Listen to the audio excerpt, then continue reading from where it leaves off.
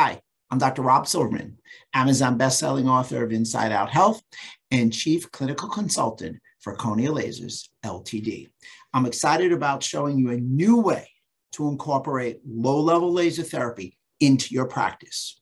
What I've done is that I've broken it up into what I like to refer to as the three phases of care.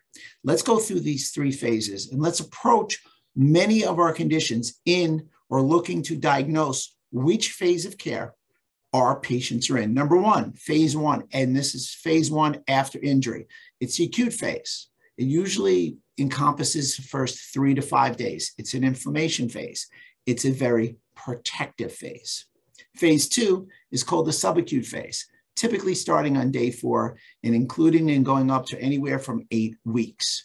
It's a repair and a remodeling phase. So the structures are starting to repair and they're going to be remodeling fibroblastic proliferation to have appropriate collagen parallel lying down. And then there's phase three, which we want to get our patients to. And it's really where we want to have our practice a wellness ongoing performance phase.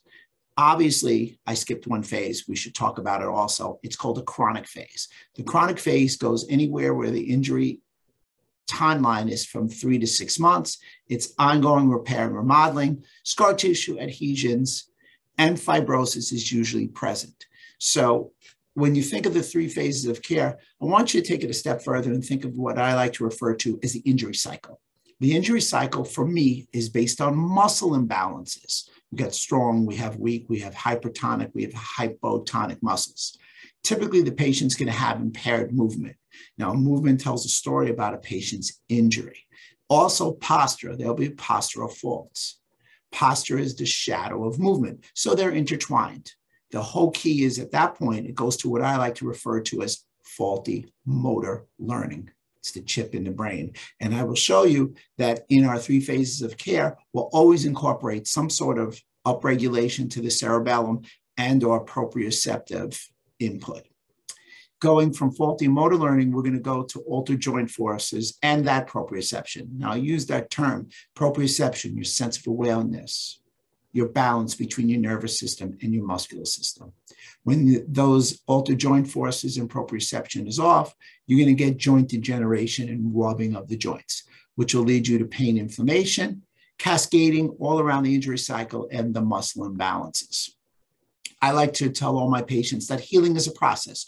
We all know that pain hurts without question, but sometimes after a treatment, it will ache. The change in sensation implies healing is a process. So in pre injury, we have this beautiful, pristine tissues, muscle, ligaments, tendons, cartilage. We also have the vascular components, arteries and vein. And of course, we have no pressure to any kind of nerve.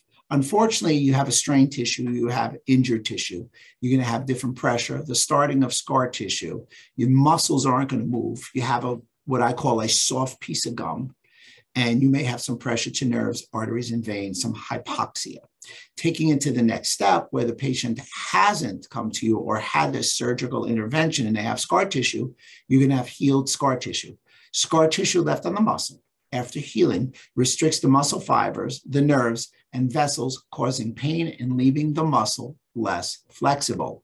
So we want to approach these type of injuries, the injuries that you see in your office, the injuries that I see in my office, in the three phases of care with the frequency. So we again we broken it up into acute, subacute, and performance and wellness.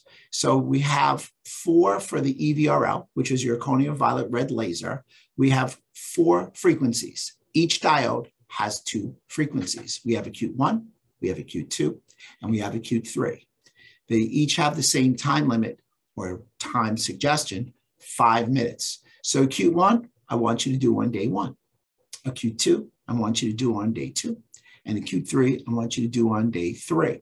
You're switching the frequencies, not a huge change, but just enough because you want the patient's body to have to adapt to a new stimuli. Incidentally, frequency is the amount of times that the laser beam hits the skin per second.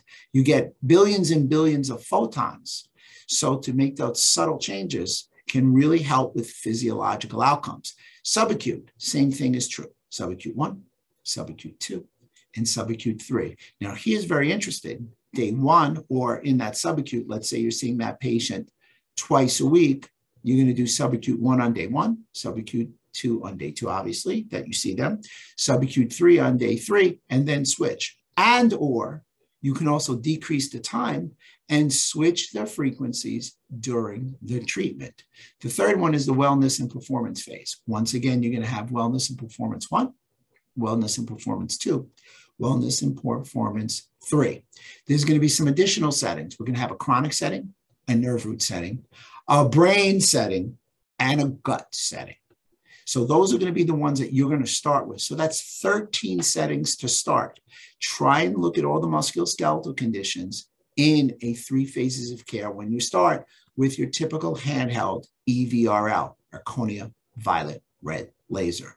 I also shared some frequencies with the FX635 and the FX405. They're broken up very similarly in acute one, subacute one, wellness and performance, chronic nerve root, brain, and um, gut once again. Now, here's the difference. There's four frequencies for the EVRL because there's two frequencies per diode, whereas the FX635 has three diodes. It also circulates in this kind of manner. In that, you'll have and use six different frequencies, whereas the 405 has an additional diode. So it has four diodes. Now, the FX635, let me be clear, has three red diodes. The FX405 has three red diodes and one violet diode. The EVRL handheld has one red and one violet. So I also like to adhere to the concept of how you treat someone. And I hope to be seeing everybody. And we have several docs who do training. After you purchase your Erchonia laser, you'll get an hour training. I like to refer to how to approach and treat within the three phases of care as something that I like to refer to is that it's as simple as one, two, three. Number one, you want to point and shoot, static positioning of the patient and the laser. You're then going to passively move the patient. The doctor moves the patient, and the doctor also moves the laser. This is with your handheld laser. Active at that point, the patient's going to move the limb, and the doctor also is going to move the laser. So it's as simple as one, two, three point and shoot, passive care, and active care. And the bonus will be that you're going to laser the cerebellum for brain upregulation, what I like to refer to as laser motor locking. You will learn all these moves in your training. And lastly, now that you've purchased the Erchonia laser, I want to differentiate the lights. The red light is a 635 nanometer light. It's a modulator. It increases energy flow and dissipates energy if it's too high. It promotes increased energy through the stimulation of mitochondria. It has an anti inflammatory effect. It enhances ATP production and protein synthesis with pain reduction. It creates an improvement in collagen fiber formation in wound healing. It also shown to reduce pain, decrease muscle spasm, while increasing muscle strength and range of motion.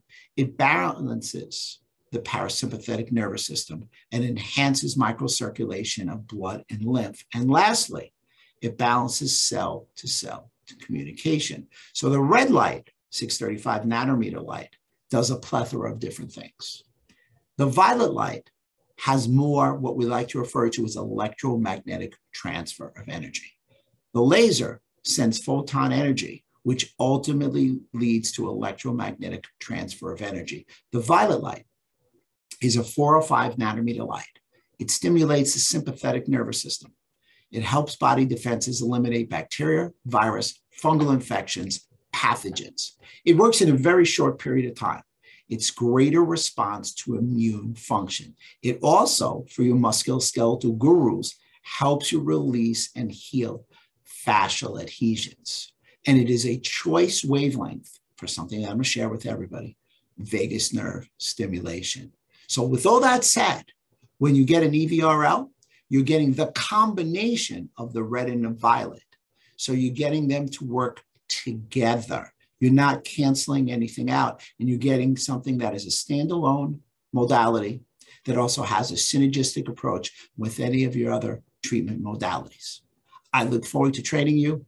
I'm happy you're embarking on what I like to refer as the breakthrough modality of the 21st century. It has revolutionized my practice, and it's also revolutionized my personal health care. I suffer from congenital torticollis, and about 12 years ago was looking for something to help me because cervical adjustments no longer worked with the fusion in the neck, and laser was there for me. I started with myself. I started with my friends and my family, and now I've built a practice based on low level laser therapy. And I'm fortunate enough to be able to speak to you kind people. Any questions? Feel free to reach out. My name is Dr. Robert Silverman. Always yours in health.